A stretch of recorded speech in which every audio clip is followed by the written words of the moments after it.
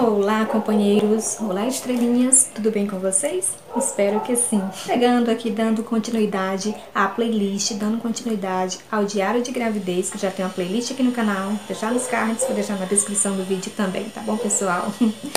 Então, se você já gosta desse estilo de vídeo, então vem comigo, se inscreva no canal se você ainda não é inscrito, ative o sininho para receber as notificações e deixe seu super, hiper, ultra, mega power joinha pra gente. Então, vem comigo. Muito bem. Pois é, pessoal, nós paramos no vídeo passado, nós paramos da última vez que nos encontramos falando sobre o diário da gravidez. Então, nós paramos na 35ª semana, estão lembrados? Certo. Pois vou dar continuidade à 35ª semana, que ficaram faltando alguns dias e vou falar um pouquinho da 36ª semana de gestação. Então, pessoal, no finalzinho da 35ª semana, gente, as coisas, os fatores continuaram basicamente os mesmos. Ou seja, muito incômodo na hora de dormir, xixi, fazendo xixi, indo ao banheiro de forma constantemente.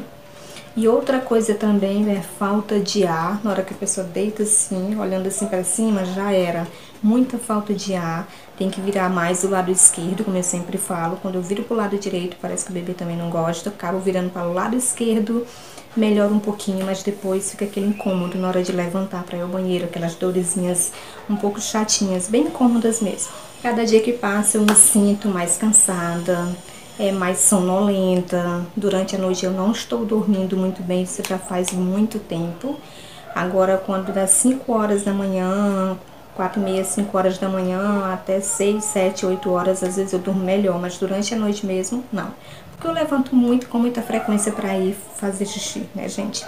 Outra coisa também, uma novidade, é que nessa trigésima quinta semana, final da trigésima quinta, já entrando na trigésima sexta semana, meu apetite, ó, diminuiu muito, gente. Outra...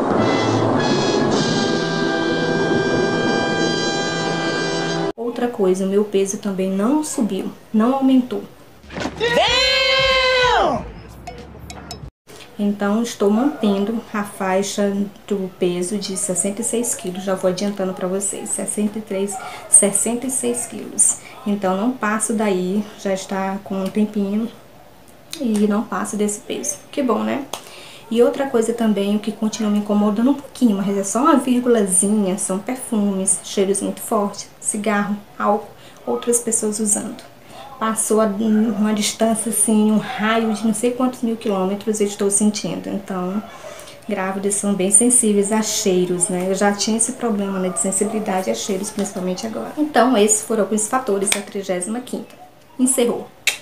Agora vamos, agora vamos para a 36ª Gente, na 36ª semana, assim que adentrou nessa semana, o aplicativo Baby Center, que eu sempre estou ligadinha nele, o aplicativo Baby Center me fez a seguinte pergunta, está na tela até agora. O seu bebê já nasceu? Tá lá, interrogaçãozinha. E todas as semanas, gente, cada, toda vez que eu completo uma semana, eu sempre estou colocando as fotos, o tamanho da barriga no aplicativo, para depois eu tô guardando, né? Então, nessa semana eu sinto a barriga mais pesada, eu sinto mais cansada. Se eu ficar muito tempo em pé, eu já não aguento. Eu sinto que como se a criança fosse descer, literalmente, entendeu? Então tem que dar uma, você tem que sentar um pouquinho, fica aquele peso, dor nas costas, no baixo ventre, cansaço, respiração ofegante, tudo isso. Outra coisa que eu sinto também, gente, é uma novidade, são beliscões, pequenos beliscões próximo ao umbigo, bem no pezinho da barriga, mas próximo ao umbigo. Então, é, o que mais? O bebê, ele mexe constantemente e não é nenhum incômodo para mim, eu faço é amar essa sensação. Quando eu vou caminhar um pouquinho, eu sinto que a barriga está pesando, está tipo descendo. Gente, é muito estranha a sensação, mas ao mesmo tempo é muito gostosa. O fato curioso que aconteceu foi o seguinte, nessa 36ª semana de gestação, eu fui à, é, à médica, a minha médica passou a ultrassonografia obstétrica, né? Eu fui fazer. Quando eu fui fazer, no momento que eu adentrei na sala, a médica, que a outra médica que foi fazer a ultrassonografia, ela perguntou de quantas semanas você está? Eu disse assim, eu tô com 36 semanas.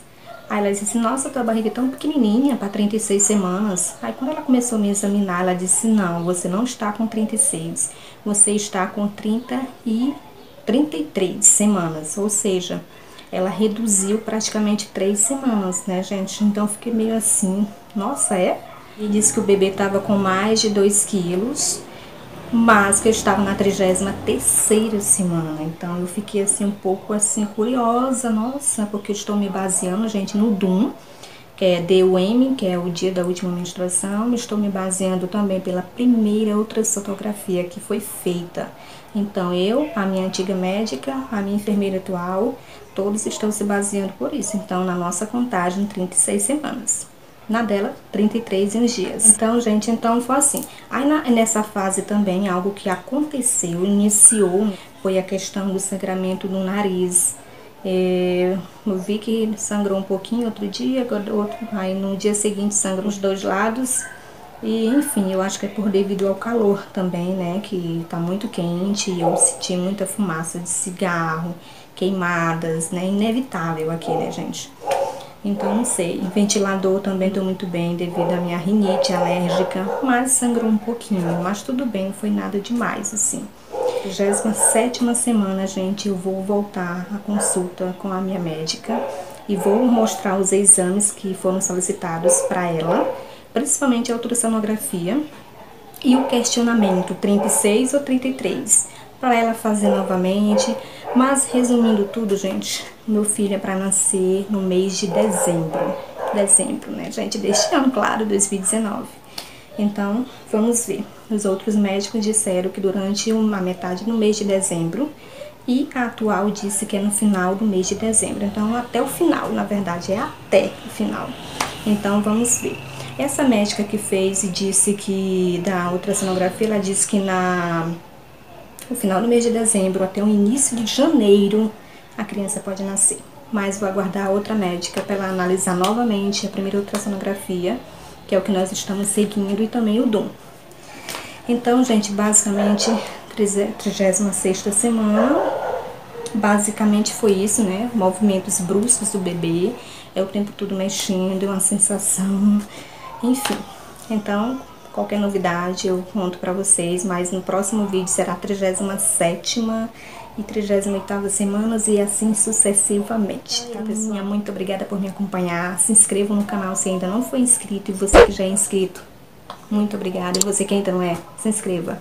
Ó, inscrever-se, apareceu o botão. Clique no botãozinho lá embaixo, inscrever-se. Pronto, você está inscrito. Ativa o sininho para ficar entre aspas, para vocês receberem as notificações e todos os vídeos novos que eu postar aqui no canal. Rosélia Carvalho, muito prazer, sou eu mesma. Ah, cansei. Deixa o seu joinha pra gente. Seu super, hiper, ultra, mega, power joinha, tá bom? Beijo, pessoal. Fiquem todos com Deus. E que assim seja.